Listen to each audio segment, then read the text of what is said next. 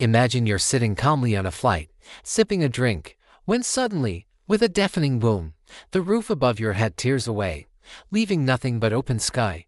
Oxygen rips out. People scream. And at 24,000 feet you're staring at death. This isn't a movie it really happened in 1988 on Aloha. Airlines Flight 243. It was April 28, 1988. Aloha Airlines Flight 243, a short island hopper in Hawaii, was scheduled to fly from Hilo to Honolulu. Nothing unusual. The flight was just 35 minutes long.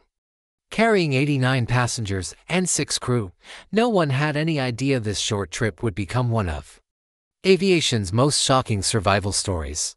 The plane was a Boeing 737-200, tail number N73711. At the time, it was nearly 19 years old and had flown more than 89,000 flights, one of the highest cycles for a passenger aircraft. But passengers boarding that day weren't thinking about statistics.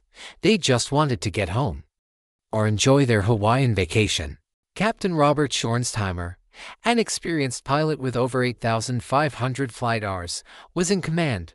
Beside him sat First Officer Madeline Mimi Tompkins, who had nearly 8,000 hours herself. Both were calm, skilled, and unaware they were about to face the fight of their lives. Flight 243 took off from Hilo at 1.25 p.m. local time. Clear skies, calm weather, everything normal. Passengers chatted, some dozed off. Others admired the blue ocean below. Just 23 minutes into the flight, the plane reached its cruising altitude of 24,000 feet. That's when everything went wrong. With a sudden explosion, a massive section of the fuselage ripped away. From above row 5 to row 18, the roof of the cabin was simply gone torn open like a sardine can. Air screamed out of the cabin. Luggage and debris flew instantly into the sky. The plane had become a convertible jet. The decompression was so violent that flight attendant Clarabelle C.B. Lansing, who was standing near row 5, was instantly sucked out of the aircraft. In a split second, she vanished into the sky. She was the only crew member lost that day, but her death sent shockwaves through aviation history. Passengers clutched their seats, screaming. Many weren't even wearing seatbelts.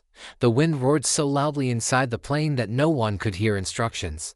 Oxygen masks dropped down. But in the chaos, many passengers struggled to put them on. Everyone thought they were about to die. Inside the cockpit, Captain Schornstheimer and First Officer Tompkins could barely hear each other. Warning alarms blared. The plane shook violently. Yet somehow, both pilots stayed calm. They immediately donned their oxygen masks and began an emergency descent toward Maui. The cockpit door had been ripped away, giving the pilots a horrifying view into the cabin. Terrified passengers, shredded roof, open sky above. Tompkins later said it was like flying a plane inside a hurricane. The controls were stiff. And pieces of metal rattled loose around them. The pilots radioed an emergency to air traffic control. Aloha for 3 were declaring an emergency. Controllers in Maui scrambled. Clearing all runways and preparing for the impossible a half-destroyed 737 attempting to land. Despite the chaos, some passengers were heroic. Off-duty flight attendants helped others put on oxygen masks, held children tightly, and tried to calm panicked travelers. Many thought the plane would break apart completely before reaching land. For 13 terrifying minutes, the plane flew in this shredded state. Every second could have been its last. Metal fatigue had literally peeled the fuselage apart. Investigators later said it was a miracle the wings and engines stayed attached at all. As the aircraft descended below 14,000 feet, passengers could finally breathe without masks, but the nightmare wasn't over. The pilots had to land a jet that was missing nearly one-fifth of its upper structure. One wrong move, and the plane could shatter on impact. At 1.58 p.m., Captain Schornstheimer lined up for an emergency landing at Kahului Airport, Maui. Fire trucks and ambulances stood ready along the runway. Passengers gripped hands bracing for the crash they thought was coming. Against all odds, the captain managed to bring the crippled 737 down onto the runway. The landing gear held. The plane skidded to a stop as emergency crews rushed forward. The cabin erupted in cheers shock, relief, and disbelief. They had survived the unthinkable. Out of 95 people on board, 94 survived. only flight attendant Clarabelle Lansing was lost. Dozens of passengers were injured, some seriously, but the survival rate stunned the world. Aviation experts called it nothing short of a miracle. Photos of the aircraft stunned the public. The top of the plane was gone. From the cockpit back to the wings, the plane looked like a giant had ripped it open. The images spread worldwide. Cementing Flight 243 is one of aviation's most shocking disasters. Investigators from the NTSB quickly arrived in Maui. They wanted to know how could such a catastrophic failure happen midair. The answer lay in the aircraft's age, maintenance history, and the harsh Hawaiian climate. The Boeing 737 had flown more than 89,000 flights known as cycles. Each cycle of pressurizing and depressurizing weakens metal over time. In Hawaii, with its salty, humid air, corrosion was even worse. Cracks had formed in the fuselage, hidden under paint and sealant. Maintenance crews had missed these cracks. The inspections required at the time weren't detailed enough to catch them. When the plane reached altitude that day, the metal fatigue finally gave way tearing open the roof in seconds. The NTSB's final report blamed poor maintenance and inspection procedures, combined with the aircraft's extreme flight cycles. They concluded the accident was preventable. If better checks had been made, the tragedy changed aviation forever. New inspection rules were introduced, especially for high-cycle aircraft. Airlines had to check fuselage integrity more thoroughly and Boeing redesigned certain parts to resist fatigue. The heroism of the pilots and crew was also recognized. Captain Schornstheimer and First Officer Tompkins received national awards for saving 94 lives. Their calm under pressure became a textbook case in aviation training. Survivors described the experience as being sucked into a nightmare.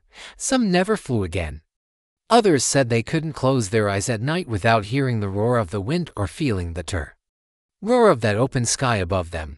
For the families of Clarabelle Lansing, the loss was devastating.